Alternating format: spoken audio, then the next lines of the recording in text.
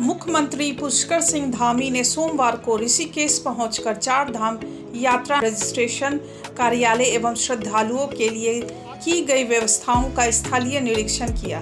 निरीक्षण के दौरान मुख्यमंत्री ने देश के विभिन्न क्षेत्रों से आए श्रद्धालुओं से बातचीत करके उनसे व्यवस्थाओं का फीडबैक भी लिया।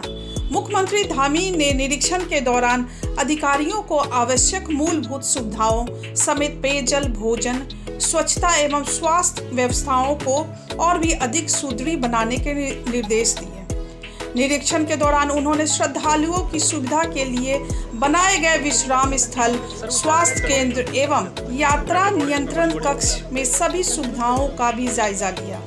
उन्होंने संबंधित अधिकारियों को, यात्रियों को किसी भी प्रकार की असुविधा न होने का एवं व्यवस्थित यात्रा के लिए आपसी सामंजस्य से कार्य करने के निर्देश दिए।